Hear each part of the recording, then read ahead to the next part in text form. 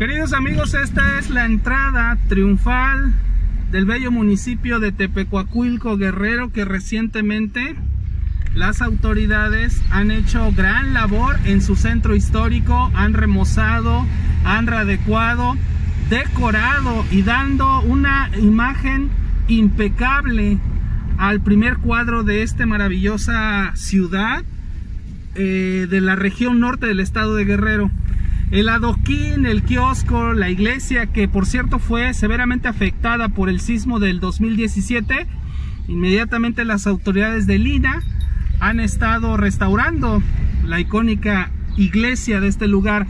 Al paso del tiempo se ha venido poniendo cada vez más bonito el municipio, el municipio de Tepecuacuilco Guerrero y sin duda su tradicional cochinita le distingue aún más a esta bella tierra. Vamos a ir conociendo más de ello.